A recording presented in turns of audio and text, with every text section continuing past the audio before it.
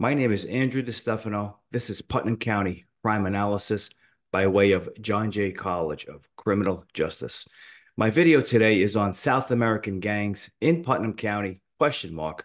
More specifically, the gang I'm focusing on is Tren de Aragua in Venezuela. Tren de Aragua translates literally to the Aragua train. Aragua is a state in Venezuela, and the gang itself comes from a prison gang in the Tocorón prison, the Tocorón province of Venezuela. And the gang itself was formed in about uh, 2010, has about 5,000 or so members. Its leader is a man named El Nino, El Nino Figueroa, who has a currently, he's on the run, supposedly, has a $12 million bounty on his head uh, by the United States. The prison itself is um, uh, quite a quite a feat. Um, sometime in around 2017, 2018, the Venezuelan government decided to be woke, and they were going to try to find the good side of people that don't have a good side. And what they did was they allowed this gang to essentially take over a prison. They took over the Tocorón prison. They built El Nino built uh, a zoo.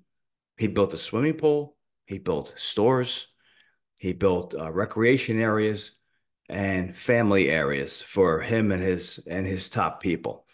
Um, turns out that the gang did nothing but flourish and started giving orders to people outside the prison, and hence a lot of them came here to, to the United States. Didn't work out too well. Their crimes of choice are human trafficking, extortion, burglary, and assault sometime around April 2024, I started looking into this gang. And, you know, for school purposes, I could find nothing on it. Now, you see it all over the place. As I said, um, it was on, uh, it was in the news uh, a few days ago for taking over a housing complex and a number of buildings in the city of Denver, which is not a small place. And yet they took over this um, these housing complex, walking around the hallways with automatic weapons. So now there's plenty of information on um, Tren de Aragua. The popular theory is that Venezuela opened up their prisons and then allowed the people to come here. That's not exactly 100% true. Essentially, their crime of choice has always been extortion. Their economy in Venezuela has tanked. And the crime of extortion, there's nobody left to extort. So on that end, they've come here to try to commit the crimes of extortion, thinking that there's more money, there's more opportunity. Because when there's no money, they can't extort people. That's why they that's why they came here. They didn't exactly open up the prisons and let them come. Now the tattoo is a skull with a gas mask and an AK-47, and they usually wear a number 23 Michael Jordan basketball shirt. 23 signifying the, the September 23rd, the birthday of Tren de Aragua. Um, last July 11th, the the Biden administration, or as the DOJ now says, the Biden Harris administration, that's odd, um, has declared Tren de Aragua a transnational criminal organization, which would be nice if it was more established, but it really does. It's it's on paper basically, but it really does absolutely nothing. It enable it it it it gives more resources. It enables the government to spend more resources against Tren de Aragua. That's good. However, it also enables us to do things that we can't do. We'll, um, we can seize their assets. We can seize their property. They don't have any established assets. They don't have any established property. Not that I can see. I don't see anything that they've ever seized. But it's on paper. It's it's something that uh, it's a tool in the toolbox. It should be used when they can. Uh, in 2005, the FBI set up the National Gang Intel Center. And by way of that, you have task forces. And a task force essentially is when you have a crime that covers several jurisdictions, it's cross jurisdictional. That's when you set up a task force of various uh, agencies. So, like you have the DEA task force, um, you have the bank robbery task force. Well, they have that task force in um, they have that task force in the city, and it's um it's one of those uh uh uh it's a it's a like a like a gang task force.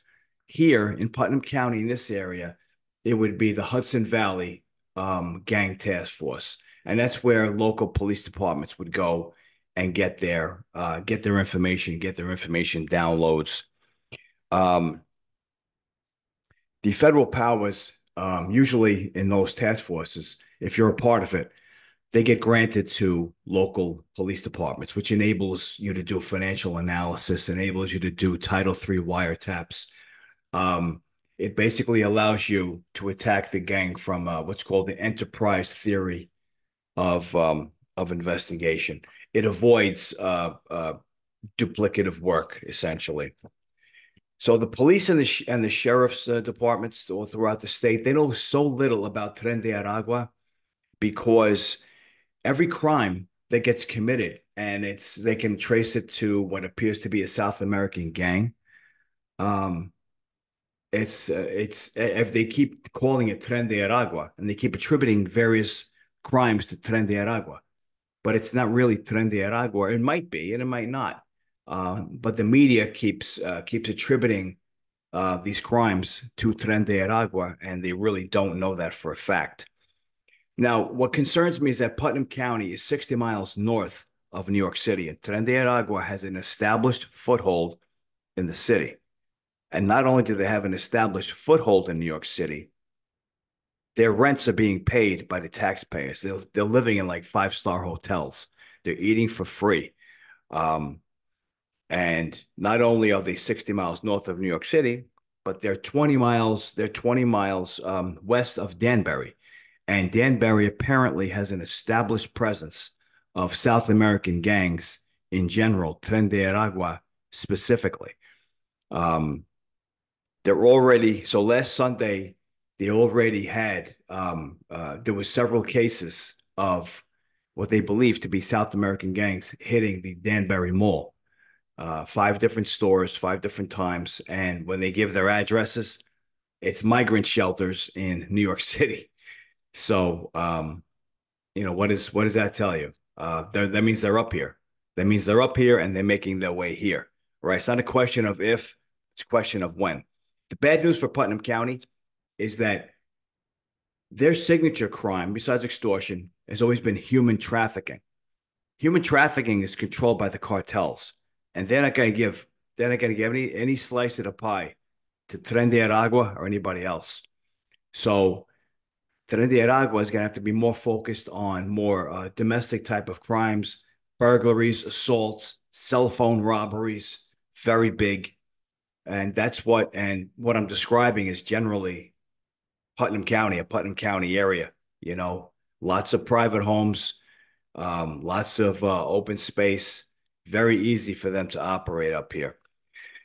So the if they can survive in in Tocorón prison, if they're up here, if they can survive in a place called Tocorón prison, I mean, this place is is is vicious. It not only has all these nice amenities, but it's its own little government. It's its own little uh, justice system.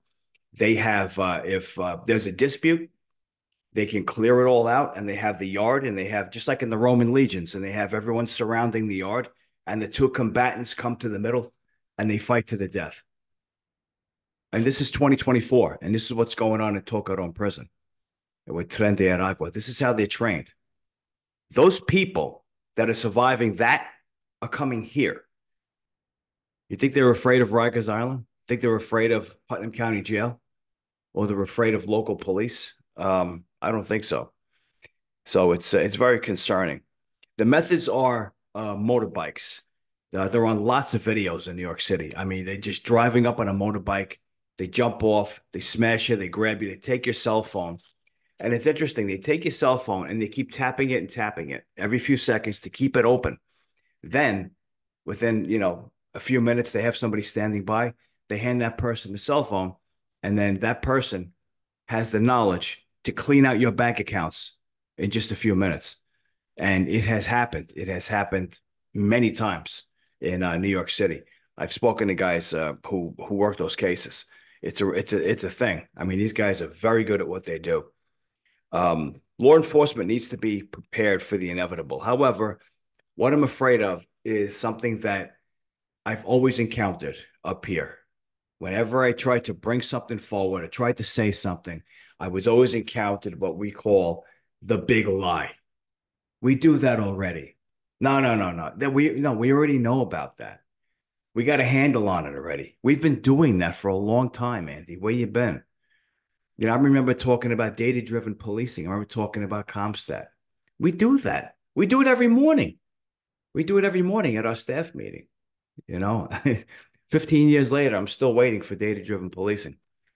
Um, but yeah, that's uh, so uh, my my concern when it comes to South American gangs and your concern should be what I call the big lie. We do that already. That's the big lie. We do that already. No, you don't. No, you don't. My my favorite is we're already doing it. I've heard that a million times. So now to make inroads into addressing this new phenomenon in Putnam County, we have got to think outside the box. And what does outside the box mean in this situation? It means reaching out to the community in Brewster and trying to establish communication and relationships with these people that are already living here. These guys come here from Guatemala. They work, they work hard. They work, a lot of them work seven days a week, getting money to send it back to their family in Guatemala. They're not doing robberies, they're not doing burglaries, they're not doing any of these things. But what's going to happen is when Tren de Aragua, all these other South American gangs come up here, they're not going to hide in Cold Spring. They're not going to hide in Kent. They're going to try to hide in the village of Brewster and they're going to try to blend in and they're going to claim that they're Guatemalans. And for us, you know, cross cultural uh, confusion, we're not going to know the difference. We're not going to know the difference, but Guatemalans will know. The people living there will know. We need to establish that communication. And right now, what I would like to see is if we were already talking to people in the village of Brewster, but again, we're going to get the big lie, you know. No, no, we I I know a guy. We we know a guy in the village. We're talking to a guy who's talking to a guy who's talking to a guy who knows a guy who spoke to a guy who met a guy who got information from a guy. Don't worry about it. We're doing that already. The big lie. Um, when was the last time there was a public meeting for residents of the village of Brewster asking them, listen, we need your help. You appeal to these people, they will help you. Believe me, they will. And that's what I mean. That's how that's how desperate a situation it is because this is an anonymous community. It's going to come up here and they're going to start hammering us. So without further ado, I'm going to address the the community in the village of Brewster in their native tongue. And hopefully it would be I would I'm going to show this video to several and hopefully some relationship can be established. You can laugh all you want, unless you can do better. That's what my father always taught me. Don't laugh at somebody unless you can do better, and you can't. Señoras y señores, mi nombre es Andrew De Stefano. Esta llamada es el problema que sabemos de, de, de, de uh, bandas y pandillas de América del Sur que se, específicamente la banda y, y, la pandilla se llama Tren de Aragua de Venezuela. Sabemos de la noticia que, que hay mucho, ellos están causando mucha, mucha violencia, mucho, mucho problema, mucho robo en la calle, mucho robo de celular, mucho robo de, de la gente, uh, mucho vende droga y tal vez ellos están todavía, ya están en, en, en, en la ciudad de Danbury y cuando ellos vienen aquí, en nuestra cantidad, ellos van a venir, ellos van a tratar de fingir a ser guatemalteco. Ellos no son guatemaltecos. Cuando vienen, ellos van a es, esconder en, en el pueblo de, de Brewster. Y cuando vienen, ellos van a fingir a ser guatemalteco. Ellos no son guatemaltecos. Guatemaltecos son gente bueno. No estoy diciendo que uh, venezolanos son, son malos. Estoy diciendo que Tren de Aragua son de Venezuela. Tren de Aragua es malo. La cosa que está haciendo es malo. Cuando ellos vienen, vamos a necesitar tu ayuda. Ojalá y espero que eso es la primera vez, la primera oportunidad a abrir una puerta con la comunidad hispana en el condado de Brewster. Muy pronto vamos a, vamos a hablar, muy pronto tal vez vamos a tener junta y podemos información que tú sabemos. ¿Ok? Mucho gusto y Dios te bendiga. All right. So I addressed them. I addressed people that are Spanish speaking. Should have been done a long time ago. Sure. We we've been doing that already, right? yeah, sure. So hopefully we can get things done. Hopefully, you know, we all have a stake here. We all have a stake.